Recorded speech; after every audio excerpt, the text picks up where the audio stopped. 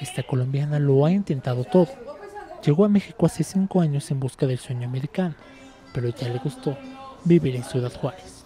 No, no, pero yo de aquí no me voy. no, yo, yo amo México. Yo amo México y me siento entre mi gente. Ya por muchas cosas, ya quizás personales. Es dueña de un restaurante de comida paisa. Dice que adquirirlo fue su mejor decisión.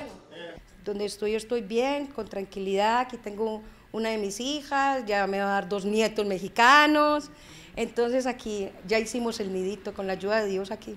Hoy en día los migrantes colombianos son sus principales clientes. Ya sabe que la comida va a estar buena porque los países cocinan bueno, entonces sí. Pero este no es el único puesto de comida instalado por migrantes en esta ciudad fronteriza. Yo llegué a México hace tres años. Este, y aquí en Juárez tengo cuatro meses, en la cual este, tengo mi negocito de, arepas, de, de empanadas y eso. La historia de América es la de muchos. Ah, porque crucé, o sea, me entregué a Estados Unidos y me, me volvieron a mandar para acá y ya vi que no, que no se puede así, pues, y ya tomé la decisión de estar acá. Mientras unos siguen intentando cruzar, otros deciden hacer sus vidas cuanto antes, justo aquí, en el país que les permitió establecerse. Javier Egar, Voz de América, Ciudad de México.